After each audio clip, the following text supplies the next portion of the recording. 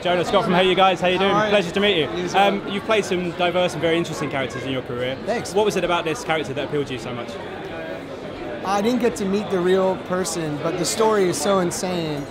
I just couldn't believe it actually happened, you know? And those are the best kind of movies, I think, when it's a true story about something that's out of control that you wouldn't believe, like the truth is stranger than fiction kind of thing. And by all accounts, I didn't get to meet the actual person I was playing.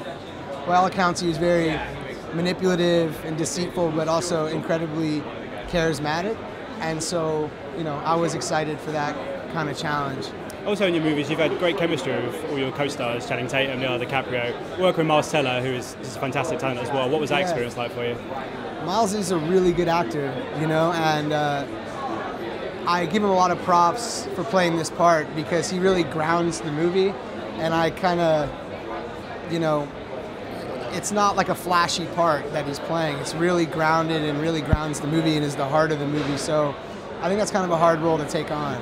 It's a really interesting film as well. Obviously, with Todd as the director, he's known for his comedies, you know, Hangover and that kind of stuff. This one kind of treads between comedy and drama. Right. Was that stuff you picked up on in the script and made you want to get involved? Yeah, Todd's great, and and I like working with people that are in a moment in their life where they're trying to make a pivot of some sort because I can relate to it, and I think it's, you know, it shows a lot of ambition, and Todd is really trying to like make something tonally that's different from the Hangover films, and I think he did a really good job.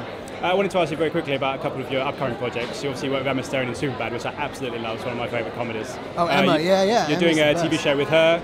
And uh, Cary Fukunaga, yeah, great that's director. Amazing, True Detective. Uh, Yeah. have you started that yet? And this must be very exciting. No, Cary just hired a writer, so we haven't even read anything yet. So, but uh, we all the three of us hang and talk about it a lot. What's your take on the Men in Black 21 Jump Street crossover? Because I know now you've got a director.